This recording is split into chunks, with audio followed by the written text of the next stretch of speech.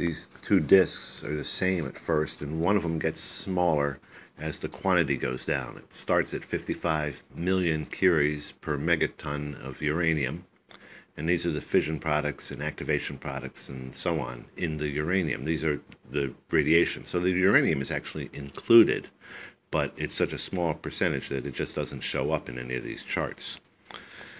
The radioactivity in spent fuel comes from the fission and activation products. And uh, at first, it drops pretty dramatically. We're down to 13 million curies, and it's been only a month. The fuel's only been out of the reactor for a month. Now, as we go along, this, we're about a third of the way through this animation, and it's a logarithmic scale.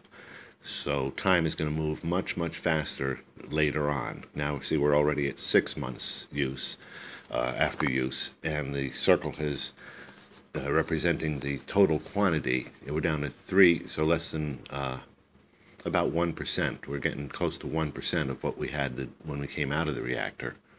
And we're five years after use.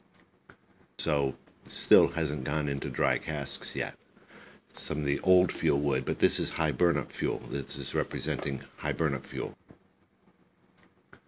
Now we're 20 years.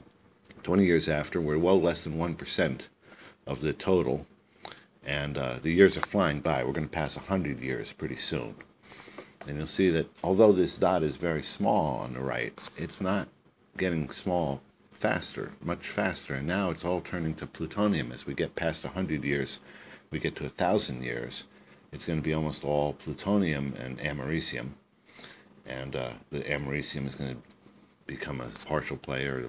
See, americium's way down here, a small segment, but we're out 10,000 years. It's all the plutonium. And that's really the, the point, is that this stuff is so hazardous we have to worry about the plutonium, but it's much, much more hazardous now.